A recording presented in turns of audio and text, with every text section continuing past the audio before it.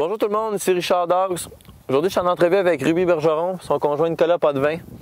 Deux personnes au grand cœur qui ont décidé d'ouvrir un refuge, la passion de Ruby. Bonjour Ruby. Salut. Comment ça va? Ça va. Bonjour Nick. Très bien.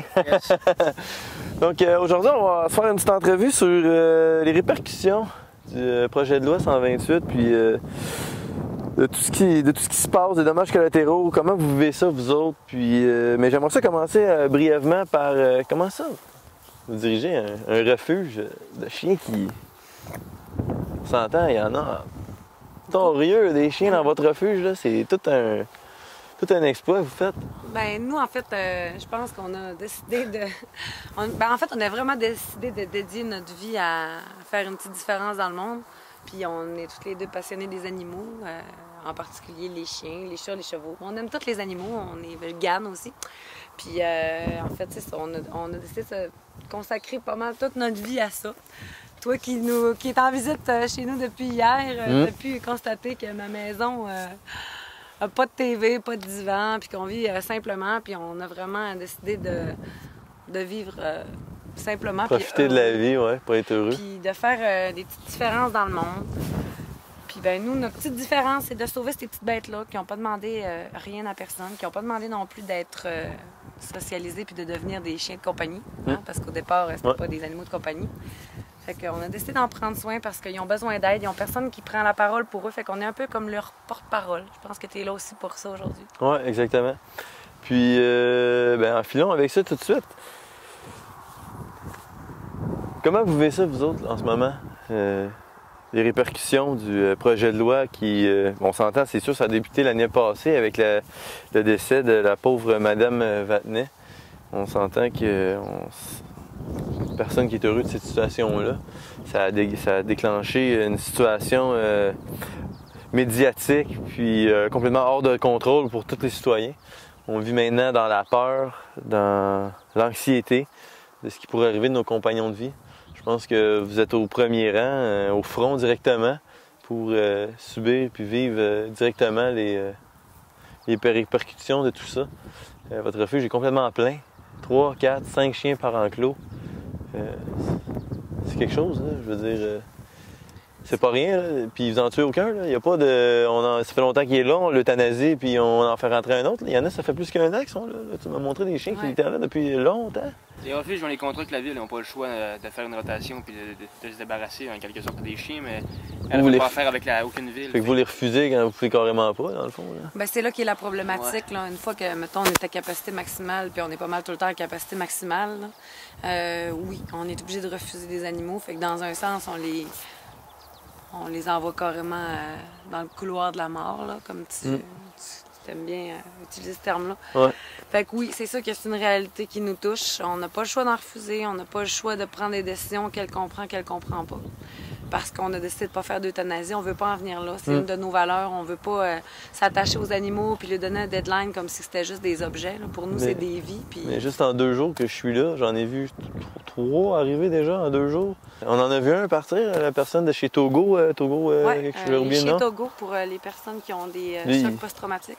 Il vient chercher ses chiens des refuges. C'est tellement beau, ben, tellement cool. C'est vraiment cool qu'il y ait un organisme comme ça. Prenez-en. Prenez-en. Prenez-en. c'est pas tous les chiens qui peuvent fitter dans leur programme.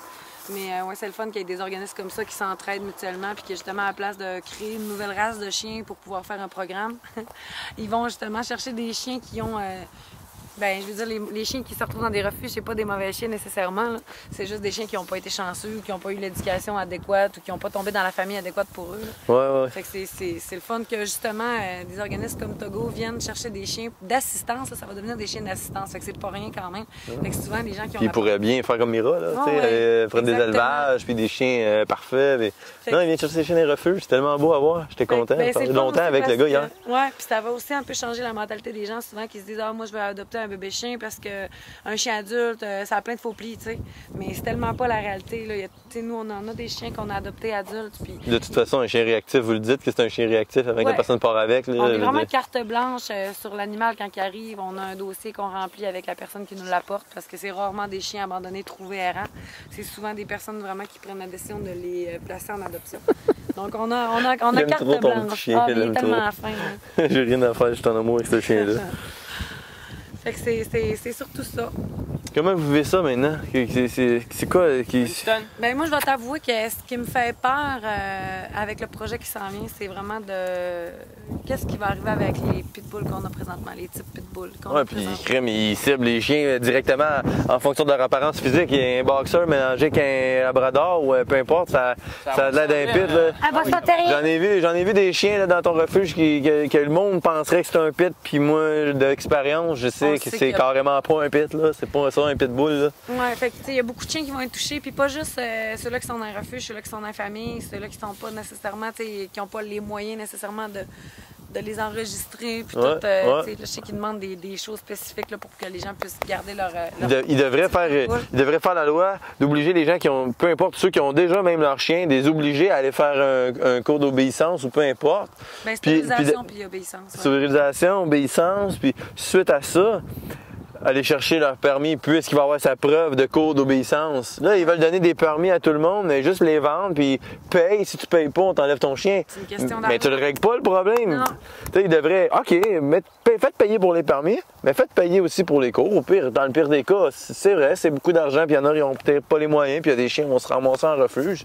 Mais rendu là, on les placera, puis des gens qui voudront acquérir un chien dans le futur, ce sera quelqu'un d'autre famille qui va l'avoir, mais il y aura l'argent, ou peu importe. Je veux dire, je peux pas dire que j'ai la solution parfaite mais de logique comme ça, sans éducation, peu importe le permis qu'on va donner aux gens, il n'y a rien qui va se passer, rien qui va changer, là, sans stérilisation non plus. Puis comme on en parlait, il y en a déjà des exemples existants dans d'autres places qui Exact. se font puis que ça fonctionne. On a l'épreuve parfaite au Canada. Une province qui a fait d'un projet de loi qui fonctionne pas, Ontario. Puis même aujourd'hui, eux autres sont en train de encore d'être sur la table à dessin pour essayer de changer les choses, puisque ça n'a pas fonctionné, ça a empiré le problème. De bannir une, une type de Euh, race. De bannir un, une type de race spécifique, exactement. Puis euh, on a une autre province qui est euh, l'Alberta, à l'autre bout du Canada, qui a fait un projet de loi basé sur l'éducation puis l'encadrement, puis ils ont des résultats positifs. Qu'on a deux projets de loi, un à l'opposé de l'autre, un qui fonctionne, un qui fonctionne pas, un peut-être qui rapporte plus d'argent que l'autre. Ouais. Mais ils ont décidé de choisir celui qui fonctionne pas directement. Ils sont allés directement vers le projet de loi qui ne fonctionne pas.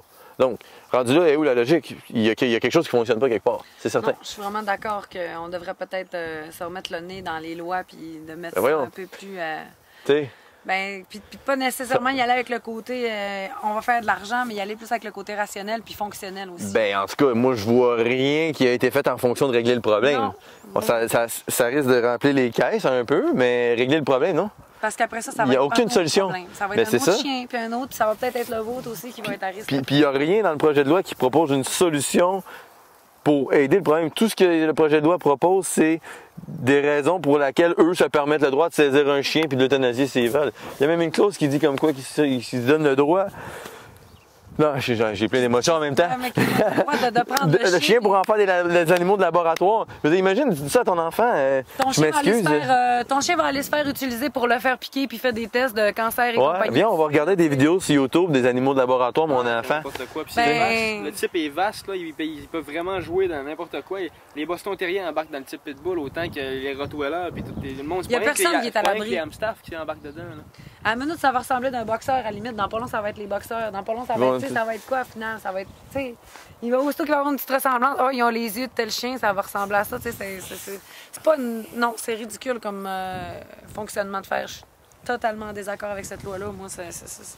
On est d'accord quand même, par contre, que ça prend une loi. Ça en prend des lois, puis on est tous conscients, puis on Oui. t'es bien Mais placé pas pour. euh, celle-là.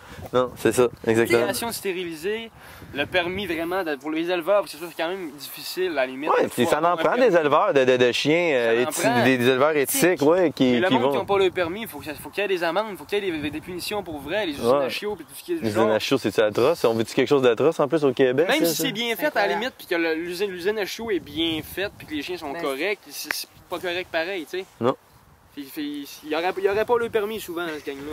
Il y a de la mouche en tabarouette. hein. Veux-tu que je te prête pompon et manche? Tiens, pompon, moi, j'en ai pas de mouche. Je je vais toutes les avoir, là. Mais, euh, ouais, bon, euh, toute joke à part, là. euh,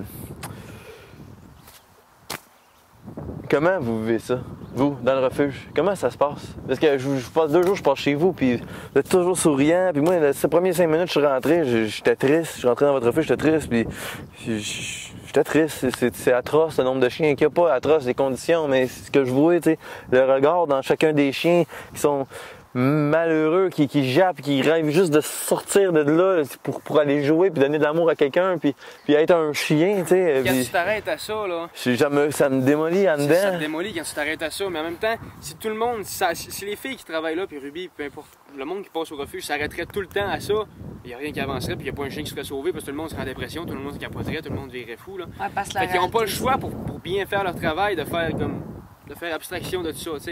Ils se disent qu'au final, ben gars, ils sont mieux ici que morts, puis qu'ils vont finir par trouver une famille. Mais c'est sûr que là, le- l'entre-deux, ils sont, sont tristes, puis ils bougent moins, puis c'est plate, mais au moins, au moins, il y a du positif pareil. Il faut que ce soit positif. Mais tu sais, c'est- c'est ça la réalité tu sais, d'un refuge. Là, c'est pas. euh, Mais pensez pas que votre chien, si vous l'amenez dans un refuge, il, il va être confortable, c'est l'hôtel, jusqu'à temps qu'il trouve une autre famille. là. Non, c'est sûr ben, que c'est pas l'idéal. C'est un peu comme une prison, comme on disait ça. tantôt. Là. Tu sais, Le chien, oui, euh, il a les soins nécessaires, euh, il, il y a un toit sur la tête, il y a de la nourriture, il y a de l'eau, mais tu sais, il n'y a Pas pas, Il y a le- pas de vie, ben, il y a- pas le confort d'une famille. Là, Il n'y a, veux pas- dire, y a pas euh, d'amour, donc tout, tout l'amour qu'il mérite, c'est certain. hein. Ben, puis tu sais, quand on prend le temps de vraiment regarder. Là, fois 50 chiens. J'ai déjà eu 8 Ben- puis 10 chiens chez nous, puis même 12 dans le passé. Puis écoute, euh, ouais, je pars en meute euh, marcher, puis euh, ça prend au moins une demi-journée, une dizaine de chiens. Aller les brûler bien comme faut, 50, tu peux pas. euh, Non, tu peux Ah pas faire tu de miracle là, non tu sais. plus.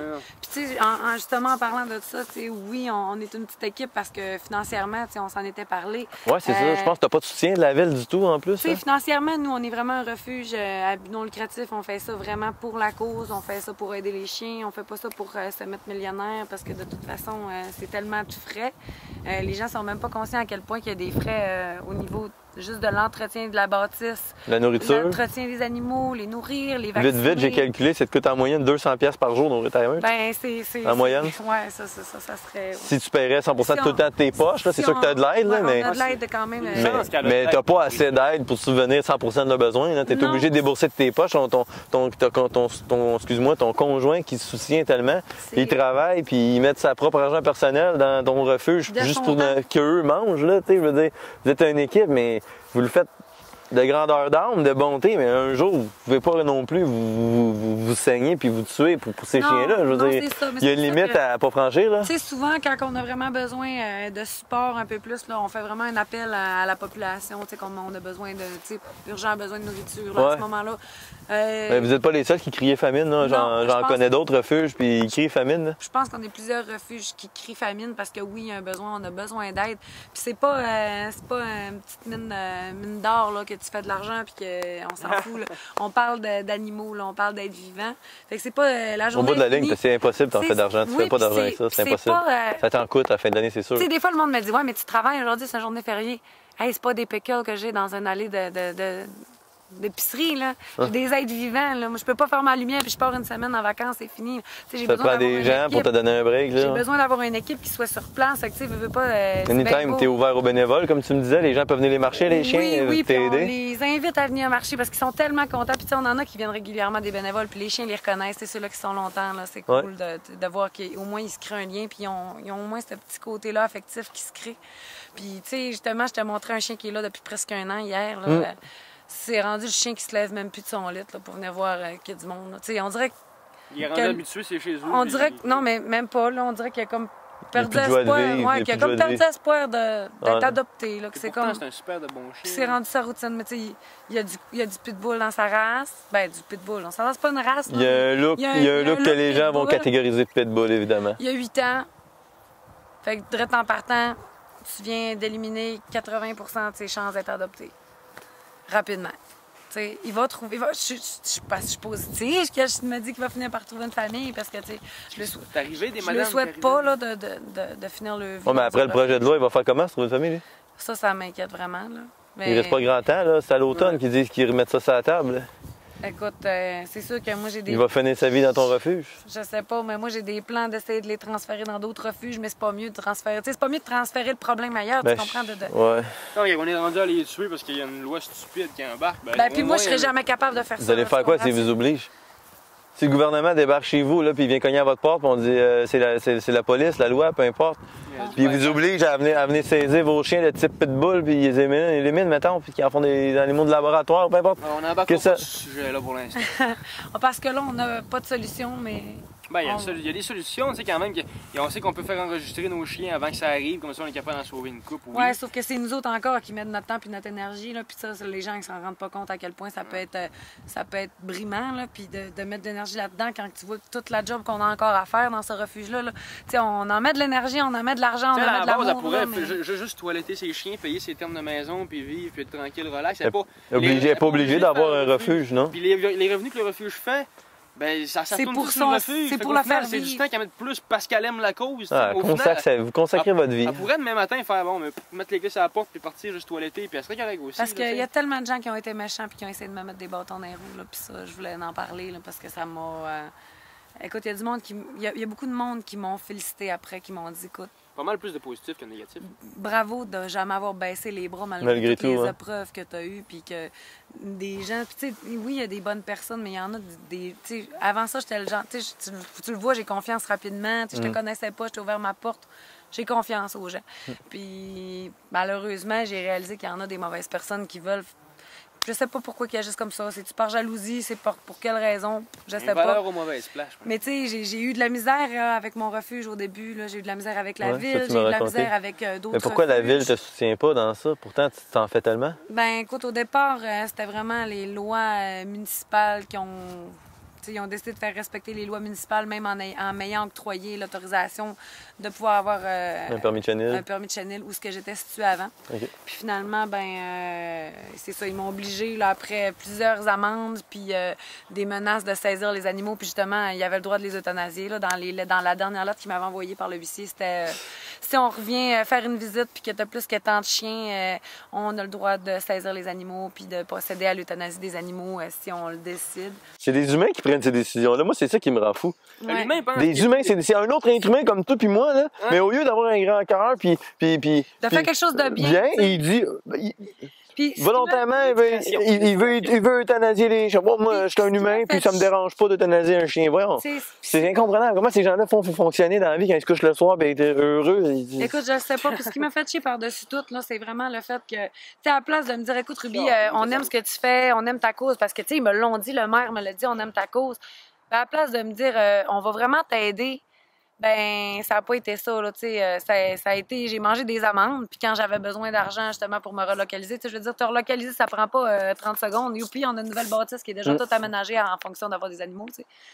Fait que, ça a été des amendes. Après ça, ça a été, euh, écoute, euh, un gros branle-bas de combat. Après ça, on a passé en soumission euh, pour essayer d'avoir le, le contrat municipal pour avoir euh, Qu'on avait d'ailleurs aussi. Parce que tout le- était qu'on avait le permis. Mais finalement, bon, il y a eu euh, des choses que j'ai pas compris, disons-le comme ça. Point Tu peux pas tout dire non plus, là. Je peux pas tout dire, mais bon, il y a des choses que j'ai pas compris. Puis que après ça, ben. En tout cas, ça a été dur à suivre. Mais moi, tout ça pour dire que malgré toutes les difficultés que j'ai pu rencontrer, fouille-moi qu'est-ce qui m'a poussé à poursuivre tout ça. Je pense que le fait que les gens nous soutiennent Mm. émotionnellement, il y en a qui sont juste venus m'écrire des petits messages comme Ça fait du bien. Je suis en arrière de toi, Ruby, lâche pas. Mm. Ben, à chaque petit message que je lisais, même si les gens, pour eux autres, ça pouvait être banal, ben, pour moi, c'était comme une petite claque dans le dos. Ah ouais, Ouais. t'es capable. On a besoin de toi, tu sais. On est capable, on aime ce que tu fais. Ouais. Tu sais, puis c'est sûr que t'en as tout le temps d'autres à côté qui viennent dire euh, pourquoi tu stérilises pas tes chiens, tu sais. Tu m'en as parlé. Ça serait, un refuge éthique, ça stérilise tes chiens. Si t'es pas, si pas capable de stériliser tes chiens, prends-en pas. Ben, c'est qui qui va les prendre? Ils vont aller où? Ils méritent de mourir parce que moi, j'ai pas assez d'argent pour toutes les faire stériliser. Les- Ah, le on monde qui s'entend que apporte t'en as le pas mal, chien- là. Le monde qui apporte Mais- les chiens au refuge, ils ont même On pas parlait, de- on parlait jusqu'à 500$ piastres que, J'aimerais ton, ça, que le vétérinaire te chargeait. Ouais, puis j'aimerais ça, là, être capable de toutes les stériliser. Tu sais, je te l'ai dit, c'est mon rêve que tous les chiens perdent ici stérilisés. Puis Ouais. j'aimerais ça, je vous le jure que j'aimerais ça. Mais pour ça, ça prend, ça prend de l'argent. Comment est-ce qu'on fait faire de l'argent? Ben, tu sais, je commencerai pas. J'aimerais bien ça faire une plantation dans- chez nous, mais je le ferai pas, tu sais, tu comprends? Ouais. Mais c'est toutes des affaires comme ça là, qui font qu'à un moment donné, tu prends, tu mets tes priorités. La priorité, c'est de sauver l'animal en premier Mm. Là. Moi, c'est ça ma priorité. Je veux sauver le chien, je veux pas qu'il soit euthanasié. Fait Après ça, on donc, oblige la stérilisation. si, mettons, on, on, on s'en va par là, là pour faire. euh, pour livrer un message, si je vous donne la chance de livrer un message, tantôt, euh, tu me parlais un petit peu de comment euh, tu te sentais par rapport aux lois puis au gouvernement. tu sais, On en parlait un petit peu par rapport à ça. Puis toi, c'était c'était plus euh, par rapport à la société. tu sais. Si chacun à votre tour, vous auriez un message à livrer à la société, aux gens, un- des conseils à donner, qu'est-ce que vous lui diriez? Tu veux-tu commencer? Ben moi, je dirais au monde que euh, je pense que dans la vie, il faut vraiment être ouvert d'esprit à tout. Même si vous êtes comme sur le choc à propos de quelque chose, soyez ouverts d'esprit parce que souvent il y a pas mal plus de positifs aux places que vous le pensez pas, tu sais. Puis que c'est pas parce que ça fait longtemps qu'on fait quelque chose d'une certaine façon que c'est la bonne façon de faire. Écoute, on a fait plein d'erreurs dans le passé. Là. Il y a eu, on, avait des esclaves avant avec les Noirs. Il y a eu, les femmes n'avaient pas le droit de voter. Il y a eu plein de niaiseries, il y a eu plein de problèmes. Puis euh, là, aujourd'hui, on, veut carrément éliminer une race de chiens parce que le monde qui achète ce type de chien-là, souvent, ils sont même pas capables de s'en occuper. Il y a d'autres solutions de faire que de, de blâmer carrément l'animal qui, qui pas méchant ou gentil. Écoute, c'est- neutre un chien là, tant qu'il est pas éduqué. L'éducation va faire qu'il est neutre ou pas, qu'il est positif ou négatif, je veux dire. Fait que restez ouvert d'esprit. Puis euh, soyez pas fermé à rien parce que. Pourquoi, pourquoi être fermé de quoi? C'est- Moi je comprends pas. Ouais, pourquoi se fermer puis d'être borné à dire que c'est ça la bonne réponse parce qu'on a été éduqué comme ça, tu sais? Mm. Puis euh, moi, ce que je dirais. T'as euh, besoin d'aide, surtout, je pense. ben, on a besoin d'aide euh, ben, dans toutes les. dans- je pense que la planète Terre a besoin d'aide. Ouais, c'est- Euh, c'est pas vrai. juste côté animal. C'est sûr que moi, j'ai dédié ma vie puis à, à cette cause-là, aux animaux.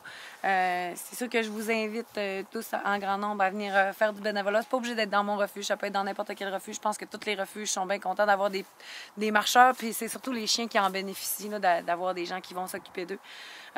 Puis aussi de prendre conscience euh, que le problème de surpopulation animale, il n'est pas euh, chez le voisin en Chine, là, il est ici, là, euh, au lac Saint-Jean, au En Québec. Chine, ils n'ont pas de problème. Là, ils les mangent, je pense, c'est les chiens. ça, exactement. Ils les mangent. fait que, tu sais, prenez, prenez, prenez conscience que le problème, il est ici maintenant, aujourd'hui, en 2017. Pas, euh, v'là 40 ans, euh, à Inuktitut, là. Je sais pas trop où. Mais. Et tous ensemble, on pourrait faire la différence en s'entraidant. Ouais, puis de stériliser vos animaux, même si, oui, je le sais que ça peut paraître des fois cher sur le coup pour les gens. S'il y a un vétérinaire pas- qui comprend ça aussi, c'est le moi qui vétérinaire. vétérinaire pourrait dropper le prix. Mais vous pourriez aussi tu sais, lancer un message justement à tous les, les vétérinaires du Québec. Il y en a peut-être un quelque part qui serait prêt à, à, à vous aider, ou deux peut-être, tu sais, qui dit crime, regarde, moi j'ai la cause à cœur, puis Ben, j'aimerais ça, C'est sûr qu'il y en a des vétérinaires qui pensent comme vous puis moi, puis qui aimeraient faire sa part dans le monde, puis qui se dit ah ben moi, je, il pourrait te contacter directement, je pense. S'il y en a un quelque part qui Ben, veut si faire ça. a un quelque part au Québec, euh, je suis là, contacte-moi 418-720-7824. J'attends ton appel. Justement. Mais. euh, Ça ferait tu es déjà là, ça t'aiderait tellement. Ça, si tu n'aurais pas à payer les stérilisations, ça donnerait tellement un coup de main. Ou au pire, les avoir à un prix ridiculement bas pour justement, tu sais, On comme. a un bon prix pour la région qu'on de mais 400 c'est- ça reste pas un bon ben, prix. Même à ça, tu paries 400-500$. piastres. Moi, j'ai fait stériliser des chiens de 50-60 livres, ça m'en coûtait 200. Donc, tu sais. euh, Ouais, mais nous autres, On c'est a vraiment... entendu mieux que ça encore, nous Ouais, c'est ça. Ouais, c'est ça. Il y a des places que c'est encore vraiment plus avantageux, là. Mais, euh, ouais, c'est sûr que stériliser vos animaux, ben, tu sais, réfléchissez avant d'adopter. Tu sais, c'est pas un... C'est pas un objet que vous adoptez. C'est un être vivant qui est sensible puis qui a des émotions. Puis quand vous le dompez dans un refuge, ben, il sait que vous reviendrez pas. Puis moi, je le vois la Ah, face le qu'il a. sentent. Moi, je le vois la face qu'il a quand, quand vous partez puis que vous l'abandonnez. Je le sais qu'il y en a que c'est pas de gaieté de cœur. Ils Mais- abandonneraient pas les enfants. hein. Non, je le sais. Merci de me couper tout le temps. Mais c'est ça. Prenez une bonne décision avant d'adopter un chien parce que c'est pour euh, 10-15 ans, des fois plus. Puis ils ont des émotions, puis ils ont besoin d'aide, ils ont besoin d'avoir une voix qui parle pour eux autres. Puis aussi, euh, je voudrais vous dire que il n'y a pas juste moi qui a besoin d'aide, il y a tous les refuges qui ont besoin d'aide. Puis vous devez justement ouvrir votre esprit à pas, à, pas éduquer vos enfants à montrer que c'est beau des chatons puis des petits bébés chiens, de stériliser vos animaux. Je sais que j'arrête pas de le répéter, mais c'est vraiment important. Puis d'essayer de faire euh, voter une loi pour aider les animaux à ce qu'il y ait moins d'animaux. C'est bon, ça? message est quand même clair, je Ouais, qu'il y ait trouve. moins d'animaux. Mon pas- but, là, croyez, croyez-moi pas, j'aime ça dire cette phrase-là, ça serait que mon refuge euh, se transforme en d'autres choses qu'un refuge. Un centre euh, animalier, mais pour que les gens puissent venir faire euh, de l'agilité avec leurs chiens, que les gens puissent venir faire Mm. des formations avec leurs chiens. C'est le fun que le problème soit réglé un jour, une fois Mais- pour toutes. tu sais. Qu'il y ait Que les Québécois soient justement responsables envers leurs Il y a des animaux. places que ça a été fait pour vrai. Oui, exact. Il y, en a des refuges en Ontario, mais ils sont pas pleins. suis 100% d'accord. Ben, c'est-tu le refuge le plus plein que tu visites? Euh, ouais. C'est Ouais. fou, hein, pour dire pour vrai. qu'on est juste en, en région. Ah, ouais, ouais, c'est incroyablement rempli de Il y en chiens. a plein ici, là, des Mm. chiens de 2-3 ans qui sont super gentils, là, qui peuvent... On l'expliquait, on en parlait tantôt, là, que, de, de- de- de faire avoir une portée à votre, à votre chienne, c'est vraiment tout simplement de, de- de voler la place de des chiens qui sont déjà en vie. tu sais. Mm. D'accord. Adopter dans les refuges, c'est sauver deux vies parce que vous sauvez le chien que vous adoptez présentement. Vous y offrez un foyer. Puis vous offrez la chance à un autre chien qui a un besoin d'avoir une place de libre dans un refuge. Fait qu'arrêtez d'encourager les éleveurs de fond de cours qui ont eu des portées accidentelles de chiens bâtards. Puis d'aller encourager les animaleries qui encouragent les usines à chiots parce que les usines à chiots, c'est vraiment pas cool non plus. Fait qu'adoptez dans les refuges ou dans les éleveurs éthiques. Vous allez faire bien, bien de différence. Sensibilisez-vous puis ouvrez votre esprit. Hein? C'est le message qu'on veut livrer. Ouais. Ben, sur ce, je vous remercie. Je m'excuse, j'ai eu un petit moment de folie. J'ai eu de la misère à m'en empêcher d'un fois. Merci pour votre bonté, merci pour votre message, merci pour l'entrevue, merci de faire tout ça pour les chiens. Puis, euh, merci. Écoute, euh, du fond du cœur, je vous remercie. Puis, je pense que le message est clair. Adoptez, faites vos chiens, encouragez des éleveurs éthiques dans le pire des cas, mais Puis Battez-vous pour garder vos droits puis de garder vos animaux si vous les aimez. Battez-vous, faites pas les moutons. Soyez ouverts d'esprit. Caroline de Ben. salut! Bye.